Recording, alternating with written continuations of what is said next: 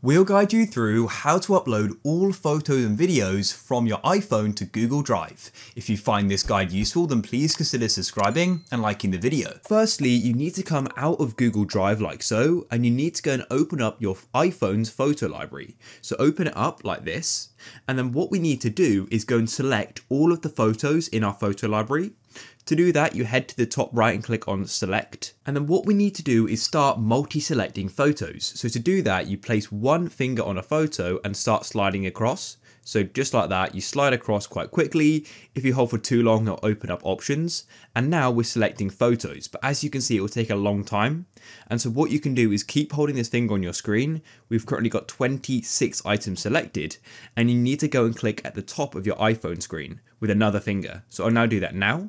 And as you can see, it takes you right to the top of your camera roll, and we've now got 203 items selected. So I can let go of this finger, and then we can upload all of these to Google Drive.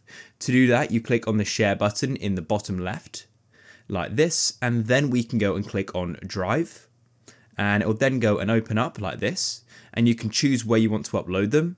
So you can go down to folder, I want to go and click here, and I'm going to go and create a new folder by clicking on the plus button here. And I'm going to name this all like this.